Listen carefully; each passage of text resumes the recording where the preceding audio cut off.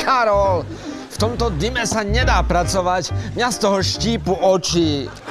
A čo mám podľa teba robiť? Veď bez dymu tie klobáske nezaúdim. A nemôžeš to dať aspoň na menší dym? Menší dym?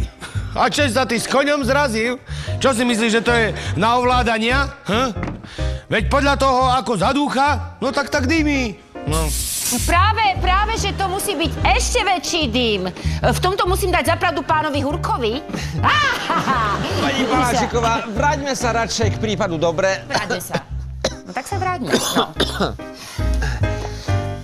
Z vašej predošlej výpovede mi vyvstáva niekoľko nejasností.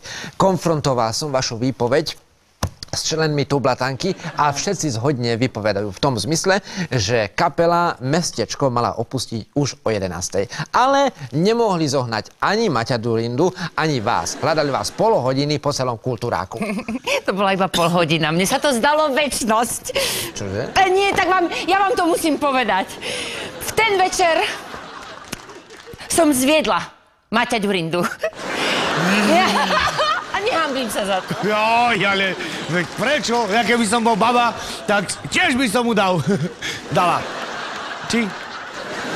Ahojte. Kto to je? Ahoj, ahoj, Bobor. A čo ty tu robíš?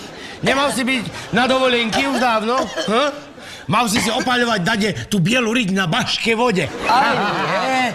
Veď tento rok som mal ísť na Tučepy, tento rok som mal ísť na Tučepy, no, ale hneď tu na, za hranicami pri Kidze sa nám e, pokazil autokar a náhradný neposlali.